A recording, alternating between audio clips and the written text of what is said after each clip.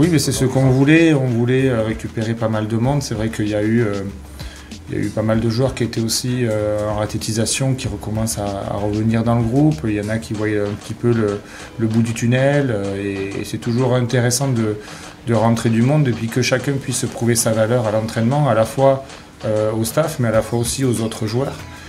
Puisque entre eux aussi, il faut qu'ils apprennent à se connaître et à connaître les qualités de chacun et, peut-être les défauts de chacun pour gagner sa place. Donc c'est toujours intéressant d'avoir une émulation dans le groupe.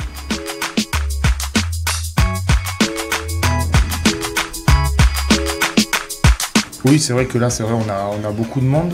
Euh, maintenant, il y, a des joueurs qui ont été, euh, qui ont été vus. J'ai vu certains joueurs, j'ai dit certaines choses.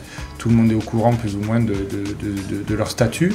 Donc euh, après, c'est surtout au niveau de, l'équipe que je vais mettre en place et que l'on doit mettre en place, oui, mais vaut mieux être dans ce, cadre-là que, dans un cadre où on n'a pas beaucoup de monde et, et, on peut pâtir sur certaines fois de certaines absences.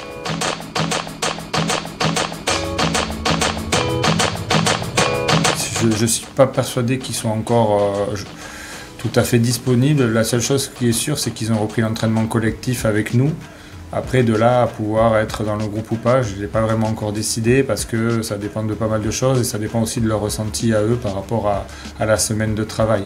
La semaine n'est pas tout à fait terminée, euh, euh, mais les deux jours qui ont été très intenses au niveau de, l'entraînement, il faut voir comment, comment ils l'ont assimilé. Euh, et, après, on prendra une décision en fonction de ça.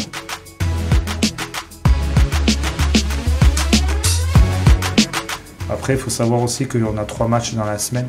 Donc, euh, il va falloir que, l'on gère euh, à la fois ceux qui, qui ont déjà beaucoup de temps de jeu et ceux qui ont peut-être moins de temps de jeu. Mais lui, il revient, ça va faire du bien. Sur les trois matchs, obligatoirement, de toute façon, il va falloir que je, fasse tourner notamment pour si parce que l'intensité des matchs de Ligue 1 n'est pas, l'intensité des matchs de Ligue 2. Euh, et, donc il faudra que je, qu'on puisse se servir un petit peu de tout l'effectif pour essayer de passer au mieux la, les, trois matchs qui arrivent.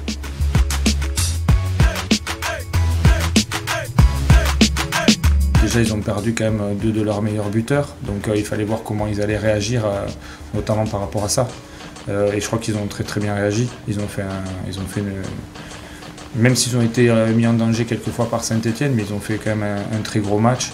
Et euh, la rentrée de Germain leur a fait du bien. Ils ont Joaquini aussi qui est revenu devant.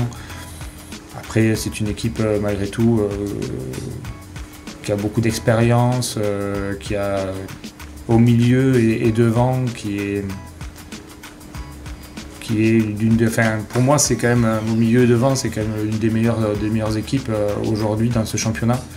Notamment quand ils vont récupérer Mollet en plus qui était suspendu il rentre Sambia. Donc c'est quand même une équipe aguerrie de, Ligue 1 et on sait que ça va être un match compliqué et il, va falloir je pense être très performant dans le milieu de terrain pour pouvoir pouvoir annihiler plus ou moins ce qui fait leur force parce que bon ce qui fait leur force c'est Ferry, Mollet, Chotard et Savanier. Aujourd'hui, euh, aujourd'hui, on sait qu'à partir du moment où ces joueurs-là sont, euh, sont malgré tout euh, peu performants pour l'équipe de Montpellier, ça, ça, permet quand même d'être plus intéressant pour l'équipe adverse.